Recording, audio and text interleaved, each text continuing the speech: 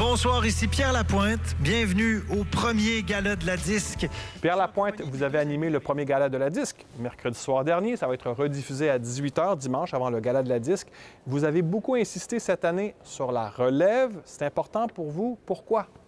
Très tôt dans les réunions avec l'équipe de la disque, moi, on- j'ai j'ai juste dit, ben, si j'étais un nouvel artiste qui sort son premier album en pandémie, ce serait la fin du monde. Donc, euh, j'ai juste amené l'idée. Je me suis dit, ce serait bien si euh, on, on choisissait quelques artistes établis qui parrainaient des artistes qui viennent de sortir leur premier album et qui commencent en ce moment.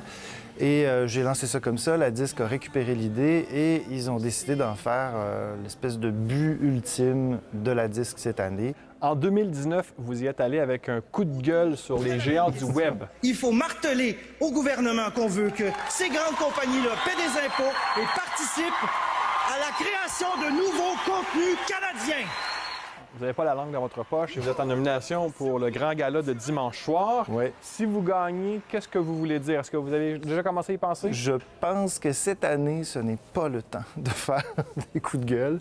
Euh, D'ailleurs, j'ai laissé le dossier, euh, tous les dossiers qui pouvaient être un peu euh, épineux en temps de pandémie. Pour moi, c'était pas le temps. Je pense que les, les politiques euh, avaient d'autres choses à faire. Quand je parle, j'ai souvent l'air d'être spontané, mais c'est très étudié. Je connais bien mon dossier.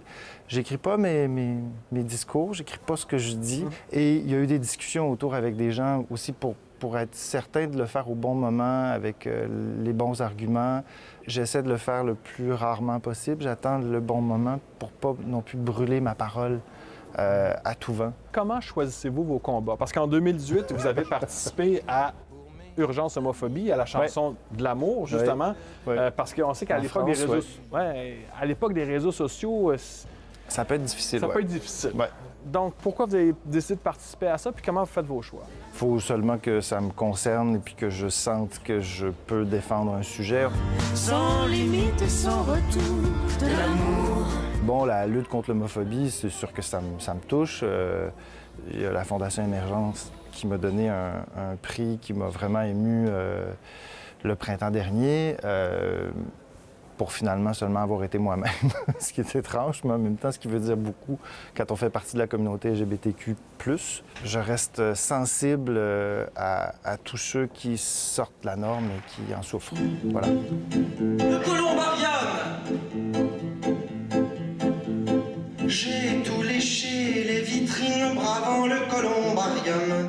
Un anniversaire. Il y a pas loin de 20 ans, vous avez remporté le Festival de la chanson de Granby. Ça a changé évidemment votre vie. Ouais. Et la nôtre aussi un peu quand même.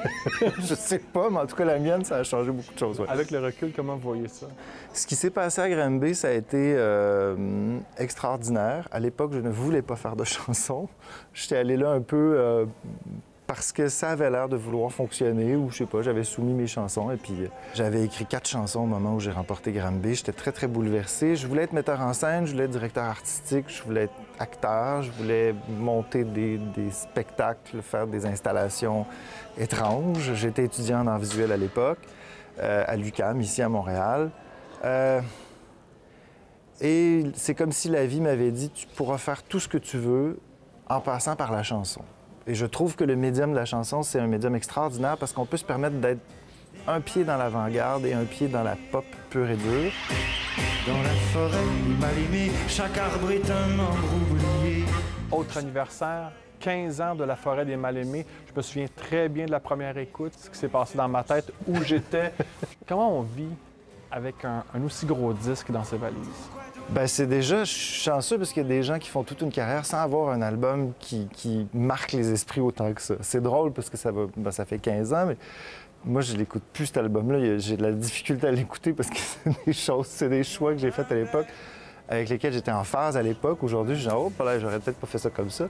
Maintenant, c'est une grande fierté parce que je sais qu'il habite encore le quotidien de plusieurs personnes et qu'il risque d'habiter le quotidien des gens encore longtemps. Euh, c'est une grande fierté.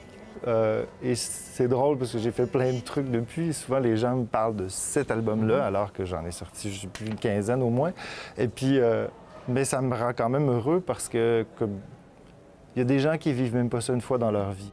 En terminant, Pierre Lapointe, après votre triomphe il y a un an et demi à l'usine C avec votre tournée Déjouer l'ennui qui a été arrêtée à cause de la pandémie, vous reprenez la route.